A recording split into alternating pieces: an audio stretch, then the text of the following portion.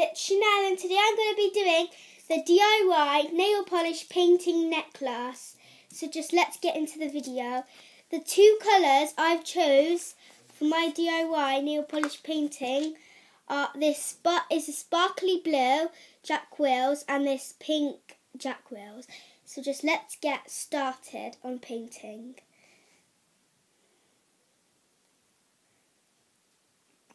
It's going really well, guys. And I have my idea of what I'm going to do with it in my head. So, good. So far now I can do the pink colour.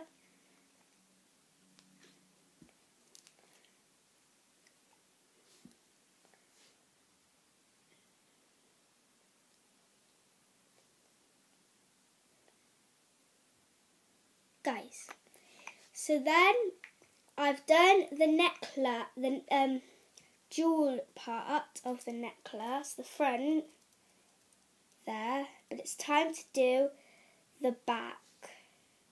Just let it dry for a bit, blow it if it helps.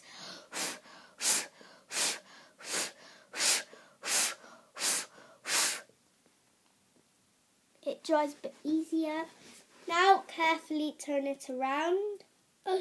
So I'm just going to paint the back all this dark blue colour because I thought it was the prettiest because it's glittery.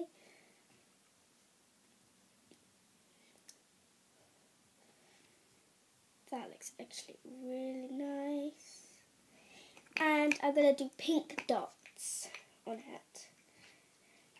If you have seen my DIY Shopkin nail polish painting then it was really good. And if you haven't subscribed to my channel, do it already. And if you haven't seen that video, please go watch it. And, and I hope you could subscribe to my channel because I would really, um, really um, like it if you could. If you could get it to 9,000 subscribers in six, six days. Woo! Looks like our necklace is finished, guys. So, the front. I'm trying to show you the front without getting my hands messy.